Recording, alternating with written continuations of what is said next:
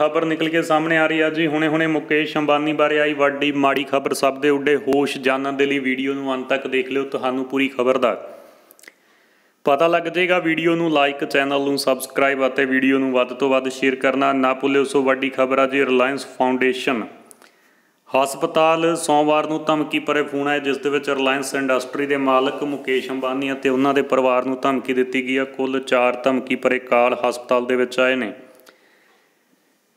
ਧਮਕੀ ਭਰੇ ਫੋਨ ਸਵੇਰੇ 10:30 ਵਜੇ ਆਏ ਪੁਲਿਸ ਨੇ ਇਸ ਮਾਮਲੇ ਦੇ ਵਿੱਚ ਮੋਬਾਈਲ ਕ੍ਰਾਈਮ ਬ੍ਰਾਂਚ ਅਤੇ ਐਮਐਚਬੀ ਕਲੋਨੀ ਤੋਂ ਇੱਕ ਸ਼ੱਕੀ ਵਿਅਕਤੀ ਨੂੰ ਗ੍ਰਿਫਤਾਰ ਕਰ ਲਿਆ ਹੈ।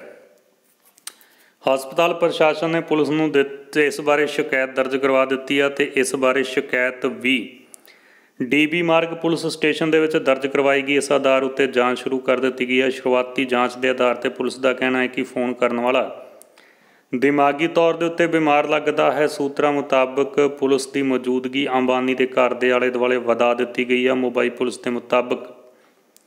ਕਾਲ ਕਰਨ ਵਾਲੇ ਦੀ ਲੋਕੇਸ਼ਨ ਪਤਾ ਕੀਤੀ ਜਾ ਰਹੀ ਹੈ ਸੋ ਵੱਡੀ ਖਬਰ ਹੈ ਜੀ ਲਗਾਤਾਰ ਧਮਕੀਆਂ ਮੁਕੇਸ਼ ਅੰਬਾਨੀ ਨੂੰ ਮਿਲਦੀਆਂ ਦਿਖਾਈ।